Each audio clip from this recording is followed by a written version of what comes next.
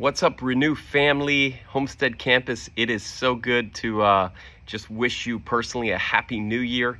I'm shooting this video on behalf of Pastor Ricardo and uh, the Homestead campus because I'm so excited for everything that's coming up in 2024. As you can tell, my Christmas tree's in the backyard. Christmas is, is behind us, and we're looking ahead to, to the exciting things that are coming in 2024, including some really great things. The first Sunday of the month is uh, Communion Sunday at our Homestead campus. It's also the opening of a, a new series that I'm, I'm leading called preaching. It's called uh, Freedom. So maybe if you've been stuck in some some areas of your life or just finding yourself kind of hung up in an area, come to the Freedom series as I uh, as I talk about how to find freedom in the new year. We're also doing um, glow wars for the kids so that's a ton of fun for the kids the little ones are going to have a great time make sure they come invite some friends for that boys and girls competition and they can win some prizes and and it's all month long uh, then there's guest meal. If you're newer to the Renew Church uh, and to the Homestead campus, you ought to go to guest meal. It's a free meal. They're going to also have a, a, a, giveaway and, and some other great things that are going to be taking place